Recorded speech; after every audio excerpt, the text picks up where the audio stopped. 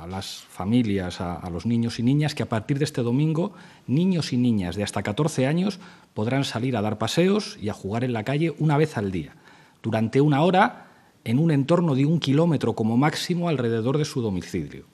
El horario en el que se podrá disfrutar de estos paseos será de 9 de la mañana a 9 de la noche.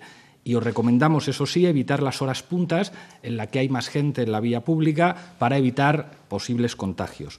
Los niños y niñas podrán ir acompañados en todo momento por un adulto responsable que conviva con ellos. Se permitirá la salida de un adulto, insisto, que también puede ser un hermano mayor. Podrá salir hasta con tres niños que convivan con él o con ella. El adulto acompañante deberá estar en todo momento a una distancia que pueda pues, controlar a los niños y niñas con los que salga a pasear.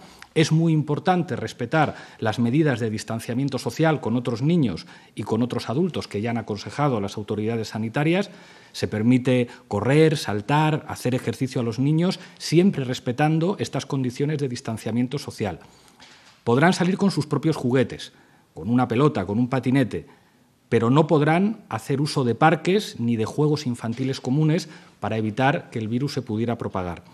En el caso de niños y niñas que viváis en un entorno rural, se podrá salir a pasear por el campo o por el bosque, respetando siempre, por supuesto, pues las medidas de distanciamiento social. No podrán salir del hogar niños, niñas o adolescentes con fiebres o con síntomas que puedan ser compatibles con el COVID-19 o que se encuentren en cuarentena. En los próximos días vamos a publicar además una guía muy accesible para, para explicar todo esto y para que todo el mundo tenga accesible en, en sus teléfonos y en sus casas esta información.